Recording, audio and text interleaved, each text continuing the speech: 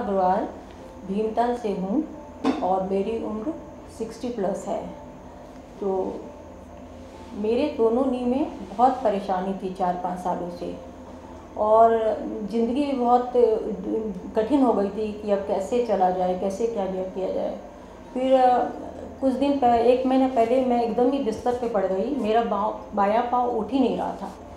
तब फिर हम लोगों को डिसाइड करना पड़ा कि अब तो नी ट्रांसप्लांट कराना ही पड़ेगा। So basically her knee really gave up gave up on her and we really could not see the pain that she was going through so ultimately we had to come down to surgery and then we came to Max where doctor Jaggi was well recommended by a lot of people around her in uh, Bhimtal uh, who belonged to uh, Delhi, very good families in Delhi. So we were pretty shocked that our name was coming up again and again. And uh, from there we got the confidence of you know at least uh, uh, meeting him, meeting him, and probably getting the major operation done by Dr. Jaggi. She told us that she almost felt that her legs have gone dead, टांगे मर गई हैं मतलब she used those words She means चला नहीं जाता है very painful.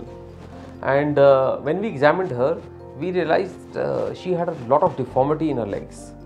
And uh, one leg was not even straightening out. And that was creating a lot of issues. Uh, one of the reasons why she was able to pull on so long if you see her and uh, you know she's quite lightweight matlab she's not heavy. Because of that she, she could push with her knees for a long period of time. Within a day or two uh, we uh, started the procedure and third day her operation started. So we actually you know uh, didn't think that the surgery would go so well because her uh, uh, legs were in a really bad condition and uh, but it really went well and her legs straightened up. They were almost bended.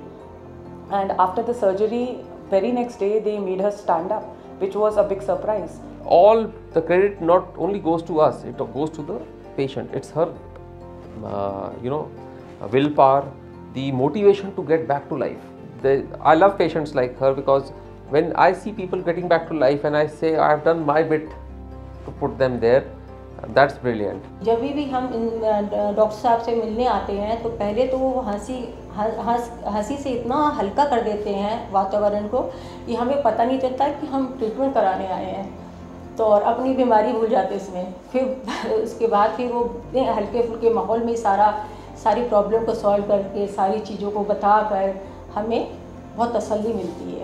So we are very happy and we are very grateful uh, to to all the staff of Max and uh, to Dr. Jaggi who uh, really you know gave us so much confidence that you know everything will go fine and it did as he said.